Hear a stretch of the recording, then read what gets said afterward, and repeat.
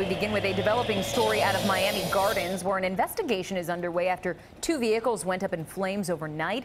This happened near Northwest 28th Avenue and Northwest 169th Terrace. Now, this is video from earlier, and you can see just how intense those flames really were. It appears the fire started in a van at the front of the house and then spread to another car behind it.